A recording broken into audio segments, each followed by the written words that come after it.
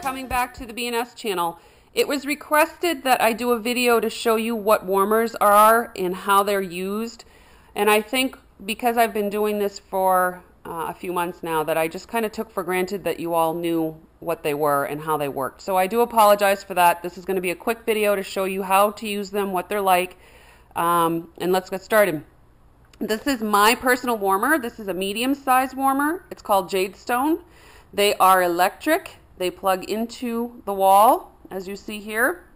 There is an off and on toggle switch right here that you can use to flip it on and off.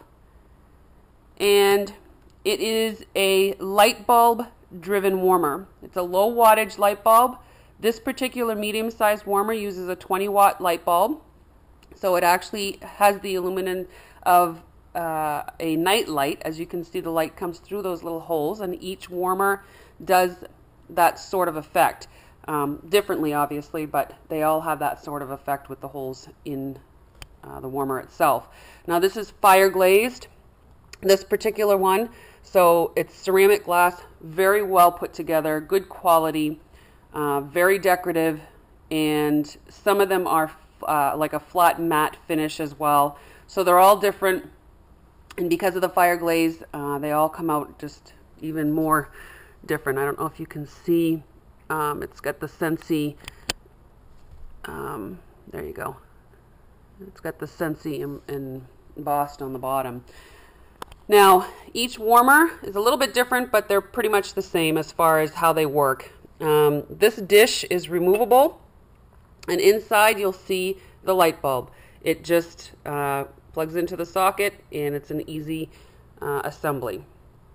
Now as you'll notice that by me picking up this dish that is not too hot to hold, it's not too hot to touch, it is very warm and it could surprise a little one, but it's definitely not going to burn you. Now this one stays on 24-7. This was my very first warmer, so I'm pretty partial to it. Um, you put a food grade paraffin wax that is scented in the dish. I usually put about two cubes. It will take about half an hour to warm, um, if that, and the scent is released. Now the wax never evaporates because it never goes into the air. There's no carbons emitted, there's no flame, there's no wick, there's no soot, no ash. Um, the only thing that is emitted from this wax is the scent. Now the scent will go away at some point and when that happens you can either pour the wax out into the garbage or you can take a paper towel and wipe it clean. It will soak up into the paper towel and then you can wipe it clean. If it does harden then you just take a knife a butter knife and run around the edge and it'll pop right out. Um, I have mine sitting on the windowsill. It is getting into summertime so that works for us here.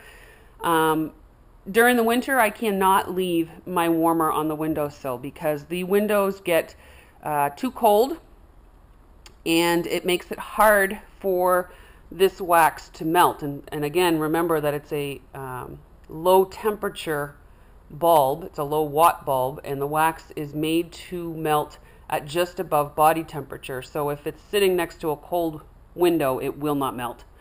Um, but these warmers are very decorative. As you can see, uh, it matches the decor that I have here in the house sitting on the windowsill. Um, it has got a green color to it, which is the same color as our walls. There are many to choose from that you can incorporate into your decorating, into your house. And that is all. It is a very simple unit, very simple to use. The only assembly required is to put the tray on top and to put the bulb in the socket. So I want to thank you for joining me today. Hopefully you found this helpful. If you did, make sure to hit the like button. Don't forget to subscribe. And if you have any questions or if you want to order any Scentsy products, look in the info box below the video. It'll all be there for you. So I thank you again for joining me and you have yourselves a sensational day.